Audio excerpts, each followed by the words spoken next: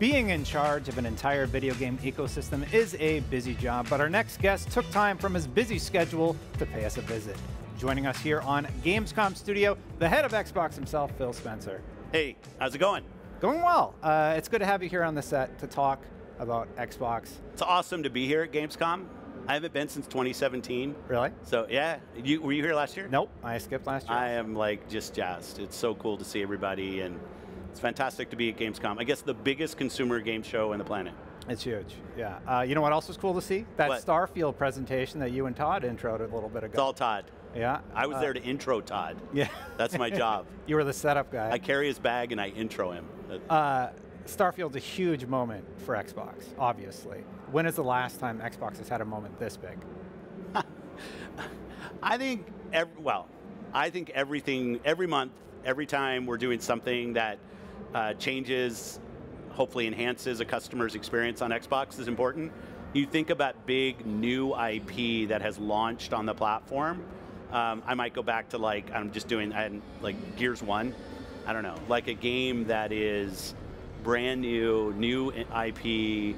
It's Todd's first game in the BGS team as part of Xbox, launching on the platform. It's a big moment, and I'm proud that we were able to give them time um, and really, really happy with the results. You have a build. Yeah. But you're not playing because you're working. I don't know what I'm allowed to say about it, so I don't want to break embargo. Have you booted it? I have turned it on. That's an embargo break. Like oh no! well, I'm blacklisted now. Oh well. Sorry, Todd. Uh, Baldur's Gate 3 is the talk of the town right now. Great game. You know, uh, this RPG comes along, kind of takes the internet by storm. Do you think it's set expectations for Starfield, or did it steal a little bit of the thunder? Uh, I don't think it has anything to do with Starfield. Um, I mean, great games coming out. It's, it's a good thing for the industry. First, congrats to Larian and the team. I think it's like what a 97 rated game or somebody or something. As somebody who finished the original Baldur's Gate wow. and Baldur's Gate 2 and what was the expansion for Baldur's Gate 1, Forgotten Shores or something. Like I'm a huge Baldur's Gate fan, uh, and to see a team spend the time to make I think a true next iteration of a classic gaming franchise is always just great for the industry. Speaking of next iterations, you know, Skyrim came out, what, 12 years ago, just did the anniversary edition, and it's been supported by an amazing modding community. Yeah. Has the same thought been put towards Starfield and supporting it into the future? Absolutely, and I don't want to disclose what the team has been thinking about, but obviously when you're BGS and you've seen the legs and the support that Skyrim gets even today, right? When you look at what the modders have done, um, it went into the thinking about what Starfield should be and like proof will be out in terms of how people re receive the game, but our hope is that it is another game that's around a decade plus longer, uh, later after it launches and people are still enjoying it. Uh, I think the last time you were in the hot seat was over. Is this the hot seat right now? Yeah, the hot okay, seat. Okay, okay. Over here on uh, IGN. Uh, but you were at the, our friends Kind of Funny and doing the the XCast around yeah. the launch of Redfall. Yeah. Which you know was obviously problematic at launch. Have any internal processes or procedures been changed to make sure that sort of uh, reaction or issue doesn't arise again? Well, we're always learning in everything we do, no doubt about that. I would say that, and I, have shared some of this, but with Redfall, it was more of us not using our internal processes that were in place already, just because of when integration happened. I'm not using COVID as an excuse, but you know, we we did close the ZeniMax acquisition, and then everybody got sent home, and it was just not as easy as maybe some of the earlier companies, uh, studios that we'd acquired in terms of integrating in our process. But that's all on us, so I'm, I'm not trying to deflect any of the, the criticism. Um, but absolutely, anytime we launch anything, and we're, we're going to learn from the launch of Starfield, we're going to learn from the launch of Forza, and we re reevaluate our process because we, we want to make sure we're exceeding customers' expectations with everything we do. Yeah, I'm always sort of curious about that. Like, what causes that result? Like, is it the cert process? Is it like what wall is hit where that sort of stuff is missed? So I appreciate you being candid about it. Yeah, and I'd say one of the things that was helpful for us with Starfield was our long working relationship with BGS, which you know well. Like if you go back to wow. original Xbox, like in what we've done with those teams. So the relationship between Todd, BGS, and our platform team, was just stronger than it was with Harvey, not because of and the team at Arkane, not because of anything other than just relationships. Like we've just known them longer. Um, so Todd brought in the eight, in the team brought in the ATG group early to start working on Starfield, and that's on us. Like we should have done that with Arkane. Um, we should have helped them more in the development process, and also just made it clear that shipping a first-party game has a different level of expectation. Mm-hmm. That um, that it's not always true that every team that comes into being part of a first party is is aware of when it launches. Feel great about where we are with Starfield. You know, we put out the review the review codes um, last week, so we're giving reviewers plenty of time to spend time with the game, and I think all of that's just a sign of the confidence that we have. You tricked me into breaking embargo. Thanks. That's right. That's right. You're done. No, no, no. Uh, we we do really appreciate. Um, people playing and giving us feedback. Like the build that you have, you know, it's not actually the final build. Um, so we're always taking feedback and, and, and, refining back in, and this is an important part of the process. So thank you for at least loading the game. Oh, I played like an hour, but okay. you know, I got this whole. I got an interview with Phil Spencer to plan for. Uh, Another game here, though, that we got BCD was uh, Forza Motorsport. Yes. You're showing off the Italian track. Yeah. I can't remember the name, name off the top of my head. But uh, big improvement graphically from what we saw at Summer of Gaming. I am curious, though, what are your thoughts on how Forza Motorsport sets itself apart? I'll start with Turn 10. I think from the beginning of Turn 10, when that studio was formed, they've always been a technical showcase for us.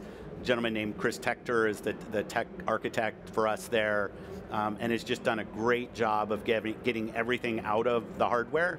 I'm a huge motorsport fan, have been from the time we launched that, so I've been playing builds and seeing the progress that uh, that they've been making. And I think you're right, like graphically where they are right now, it's stunning. The game, what they're doing with ray tracing and other things. Um, but I always love that they've turned 10 is be able to start with motorsport, expand to Horizon, which Forza Horizon's now kind of a a top tier uh, uh, Xbox franchise. I think you can't argue about that. It's just like the number of players that game sit uh, builds, their relationship with Playground and what they're doing with Fable. I mean, it's just been awesome to see how Turn 10, a studio that was literally just kind of homegrown within Xbox, has turned into such a force for us. Got any teases for Fable, seeing you brought it up? Um, I'll let the, the team. I'm. I was actually Nothing? on Project Ego, the first Fable that we launched, mm-hmm. which I find some humor in. The code name was Project Ego with all the personalities involved. But uh, but it's nice to see the team kind of embracing what was Fable, the humor, the kind of choice and consequence, and everything. So really looking forward to showing more. Yeah, uh, I really enjoyed the the trailer you showed also Thanks. during the, the last reveal. Uh, but back, going back to Forza, you actually dropped the number so is Forza Motorsport becoming a service platform, or like what's what's with the change? Yeah, the team service platform. I, I hesitate a little bit because I think there's a lot of loadedness in Games like what service. yeah what that means. I think what we see with Forza is the evolution of the experience as as much about the tech as it is tracks and cars. And we know that when people make an investment in the game, they want to make sure we continue to support the game. And in some ways, when you put a numeral on the end of the franchise, it instantly says, okay, well, now you need to move to like Forza N plus one.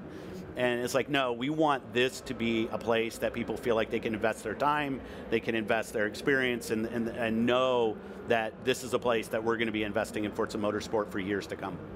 You've had a ton of reveals. You Avowed was revealed. Yeah. Um, what else do I have on? South of Midnight. Perfect Dark, South of Midnight, yeah. Hellblade, Senua's Sac- Hellblade 2, Senua's Sacrifice. Uh, can you tell us more about the rest of 2023 and beyond and sort of like what that's looking like for Xbox? Uh, what I can say is we're going to have more beats to talk about more of what we do because the content lineup is so strong. And I, I say that completely recognizing that 2022 wasn't so strong. Uh, but you know, we have our biggest booth here at Gamescom, and we have a huge presence. I think there's like 30 plus playable games on our floor. A lot of first party games. Towerborn's here, Ara's here. Obviously, Forza is so like it's awesome to see the footprint that we have in the game portfolio from our first party, from partners, from Game Pass, all of it.